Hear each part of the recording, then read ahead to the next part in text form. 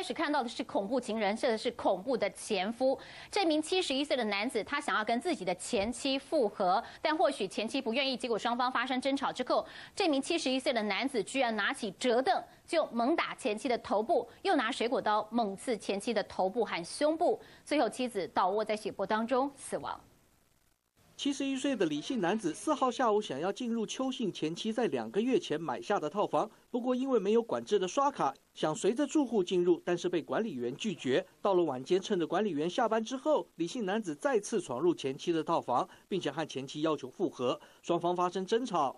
李姓男子拿着折凳打前妻的头部之后，拿刀行凶。死者哦跟他的前夫李姓男子哦，因为感情的问题，还有财务上。哦，不是很清楚，然后愤而行凶。为什么要杀前妻？有什么深仇大恨吗？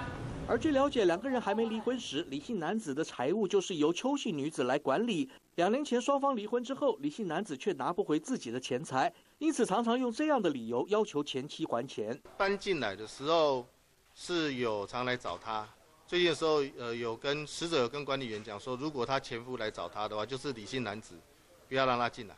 对的，冰冰冰冰，给啊，这个从窗户进来救我啊！啊，他们这种事情可能是成年老账。嗯，怎么说成年老账？